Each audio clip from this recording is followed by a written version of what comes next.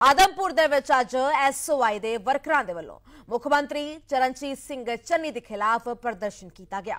ਇਸ ਦੌਰਾਨ ਵੱਡੀ ਗਿਣਤੀ ਦੇ ਵਿੱਚ ਵਿਦਿਆਰਥੀਆਂ ਨੇ ਮੁੱਖ ਮੰਤਰੀ ਚਰਨਜੀਤ ਸਿੰਘ ਖਿਲਾਫ ਨਾਅਰੇਬਾਜ਼ੀ ਕੀਤੀ। ਵਜ਼ੀਫਾ ਘੋਟਾਲਾ। ਅਹਿਮ ਮੁੱਦਾ ਇਸ ਦੌਰਾਨ ਵਜ਼ੀਫਾ ਘੋਟਾਲਾ ਰਿਹਾ।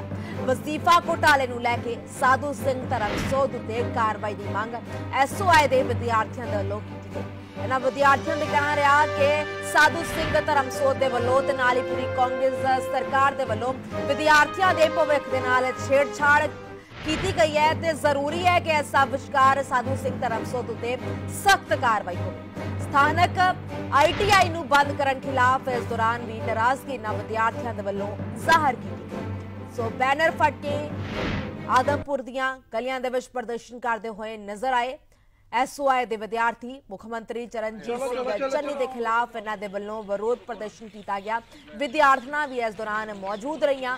ਉਹਨਾਂ ਦੇ ਵੱਲੋਂ ਵੀ ਜੰਮ ਕੇ ਨਾਅਰੇਬਾਜ਼ੀ ਕਾਂਗਰਸ ਸਰਕਾਰ ਖਿਲਾਫ ਕੀਤੀ ਗਈ। ਕਾਂਗਰਸ ਸਰਕਾਰ ਮੁਰਦਾਬਾਦ ਗਰੀਬਾਂ ਦੇ ਮਜੀਦਾ ਖਾਣ ਵਾਲੀ ਸਰਕਾਰ ਮੁਰਦਾਬਾਦ ਮੁਰਦਾਬਾਦ ਕਾਂਗਰਸ ਸਰਕਾਰ ਮੁਰਦਾਬਾਦ ਬੱਚਿਆਂ ਦੇ ਮੁਰਦਾਬਾਦ ਕਾਂਗਰਸ ਸਰਕਾਰ ਮੁਰਦਾਬਾਦ ਦੇਖੋ ਜੀ ਇਹੋ ਜੀ ਨਕੰਮੀ ਸਰਕਾਰ ਪੰਜਾਬ ਨੂੰ ਮਿਲੀ ਹੈ 2017 ਤੋਂ ਬਾਅਦ ਜਿਹਦੇ ਵਿੱਚ ਪੜਨ ਵਾਲਾ ਵੀ ਸੜਕਾਂ ਦੇ ਉੱਤੇ ਹੈ ਤੇ ਪੜਾਉਣ ਵਾਲਾ ਵੀ ਸੜਕਾਂ ਤੇ ਆ ਪੜਨ ਵਾਲਿਆਂ ਦੇ ਵੀ ਡੰਡੇ ਵੱਜਦੇ ਪਏ ਤੇ ਪੜਾਉਣ ਵਾਲਿਆਂ ਦੇ ਵੀ ਡੰਡੇ ਵੱਜਦੇ ਪਏ ਆ। ਕਿੱਡੀ ਨਕੰਮੀ ਸਰਕਾਰ ਹੋਏਗੀ ਜਿਹਦੇ ਵਿੱਚ 1.5 ਲੱਖ ਵਿਦਿਆਰਥੀ ਜਿਹੜਾ ਪੋਸਟ ਮੈਟ੍ਰਿਕ ਸਕਾਲਰਸ਼ਿਪ ਦੀ ਸਕੀਮ ਦਾ ਫਾਇਦਾ ਲੈਣ ਵਾਲਾ ਰਹਿ ਗਿਆ ਜਿਹੜਾ ਅਕਾਲੀ ਦਲ ਦੀ ਸਰਕਾਰ ਦੇ ਸਮੇਂ ਕੋਲ ਲਗਭਗ 4 ਲੱਖ ਸਵਾ 4 ਲੱਖ ਸੀਗਾ। ਇਹ ਸਰਕਾਰ ਗੁਨਾਹਗਾਰ ਆ ਉਸ ਚੀਜ਼ ਦੀ ਵੀ ਜਿਹੜੇ ਵਿਦਿਆਰਥੀਆਂ ਨੂੰ ਇਹਨਾਂ ਨੇ ਬਾਹਰ ਵਿਦੇਸ਼ਾਂ ਵਿੱਚ ਜਾਣ ਲਈ ਮਜਬੂਰ ਕੀਤਾ ਗਰੀਬ ਵਿਦਿਆਰਥੀਆਂ ਨੂੰ ਜਾਂ ਇਹਨਾਂ ਨੇ ਪੜ੍ਹਾਈ ਤੋਂ ਵਾਂਝੇ ਕਰ ਰੱਖਿਆ। ਘਪਲਾ ਕੀਤਾ 64 ਕਰੋੜ ਰੁਪਏ ਦਾ। ਇਹਨਾਂ ਦੇ ਆਪ ਦੇ ਸਕੱਤਰ ਨੇ ਉਹ ਮੁੱਦਾ ਚੱਕਿਆ। ਇਹਨਾਂ ਤੋਂ ਐਸੀ ਕਿਹੜੀ ਮਸ਼ੀਨ ਸੀਗੀ ਉਸ ਸਮੇਂ ਦੇ ਸੀਐਮ ਕੈਪਟਨ ਅਮਰਿੰਦਰ ਸਿੰਘ ਦੇ ਕੋਲ ਜਿਹੜੇ ਇੱਕ ਪਾਸੇ ਉਹ ਪਾ ਕੇ ਤੇ ਦੂਜੇ ਪਾਸੇ ਉਹ ਚਿੱਟਾ ਕਰਕੇ ਕੱਢ ਦਿੱਤਾ?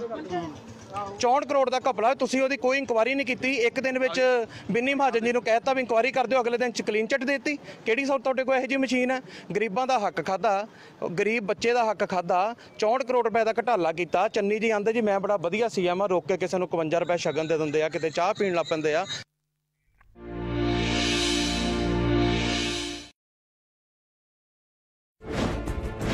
ਦੋ ਹਜ਼ਾਰ ਬਾਈ ਦੇ ਚੋਣ ਮੁਕਾਬਲੇ ਦੀ ਸ਼ੁਰੂ ਹੋ ਚੁੱਕੀ ਹੈ ਜੰਗ। ਹੁਣ ਹੈ ਤੁਹਾਡੀ ਵਾਰੀ। ਸਰਕਾਰ ਦੀ ਖਤਮ ਹੋਈ ਪਾਰੀ। ਪੁੱਛਾਂਗੇ ਤੁਹਾਡੇ ਸਵਾਲ। ਇਹਨੇ ਸਾਲ ਕਿੱਥੇ ਰਹੀ ਸਰਕਾਰ? ਮੁਫਤ ਬਿਜਲੀ ਮੁਫਤ ਸਹੂਲਤਾਂ। ਵਪਾਰ ਲਈ ਨਵਾਂ ਕੀ ਉਦਯੋਗ ਨੂੰ ਕਿਵੇਂ ਆਏਗਾ ਸਾਹ